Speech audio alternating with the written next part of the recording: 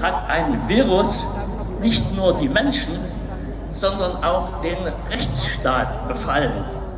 Das brauchen wir, das ist Leipzig. Seid ihr noch da? Hallo liebe Freunde, wir sind hier in Leipzig bei der Demonstration gegen die Corona-Maßnahmen. Hier mit Dr. Adam von Christen in der AfD. Warum bist du hier? Seit Monaten sollen wir aus dieser Pandemie herausgeführt werden. Es funktioniert nicht. Und die Maßnahmen werden immer schlimmer. Und die, dieser ganze Lockdown ist für mich eine rechtswidrige Maßnahme, gegen die ich als Jurist kämpfe. Und als Christ sage ich, ich bin für die Freiheit und dafür demonstriere ich hier heute für die Freiheit. Herzlichen Dank. Im Arbeitsschutz ist es geschehen, dass bei Maskentragen immer wieder Haufen eingelegt werden. Selbst vereinfachte Masken.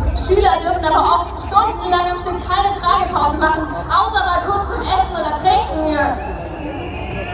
Hallo liebe Freunde hier aus Leipzig. Wir sind jetzt hier gerade bei der Gegendemo, weil die Corona-Querdenker-Demo wurde aufgelöst, zusammen mit äh, Jessica Wiesmann, Mitglied des Berliner Abgeordnetenhauses.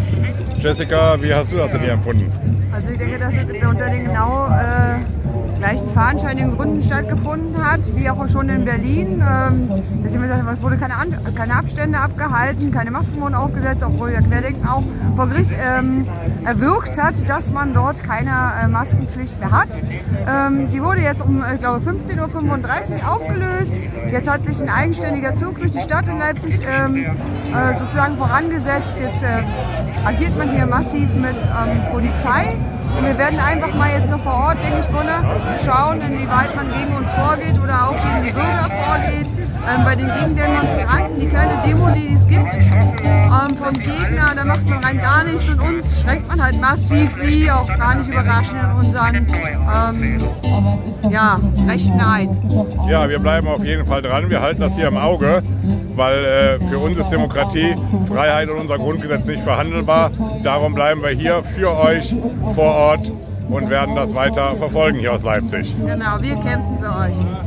Die Polizei fordert hier alle Personen an der Absperrung auf, Ruhe zu bewahren und wieder zurückzugehen und den Abstand einzuhalten. Ich wiederhole nochmal. Ihr Polizisten steht auch endlich auf. Wir sind nicht eure Feinde. Wir bewerfen euch nicht mit Steinen.